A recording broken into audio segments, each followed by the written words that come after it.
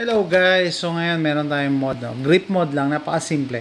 Uh, yung Spring, uh, Springfield 911 ko, 911. Hindi ko gusto yung grips, masyadong maliit. Cute siya, tignan, pero yung recoil, kahit 380 lang siya, masakit sa kamay. Pag umaatras, lang lalo dito sa beaver tail.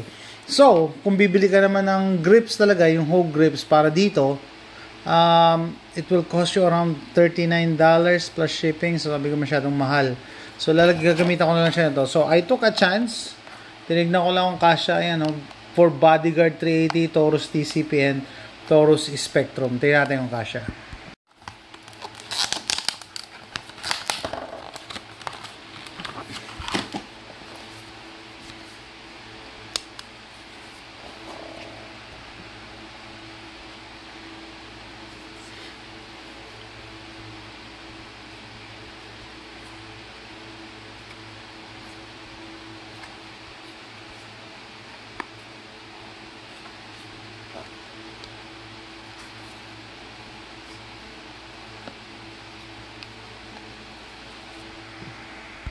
Okay, kasya siya. So, kasya.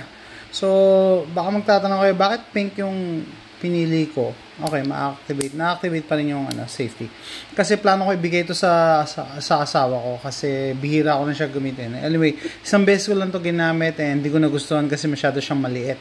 So, ginagamit ko ngayon pang carry is yung Walter PPS. So, eto. Although marami ibang kulay to, di ko, sige, bibigay ko sa kanya, testing, baka magustuhan niya. Ayan. Mas ano na, ngayon nga, mas may makakapitan ka, kahit pa paano may cushion dito. Tapos gumagana pa rin yung safety. There you go. So, hindi yan para sa Springfield, para yan sa Bodyguard, tsaka sa Taurus, TCP, and Spectrum, pero kumasya. Buti na lang, itong 1911 style na to, wala siyang beaver, uh, meron wala siyang grip safety. Wala hindi just yung beaver tail niya hindi gumag hindi gumagalaw din. All right. Okay naman.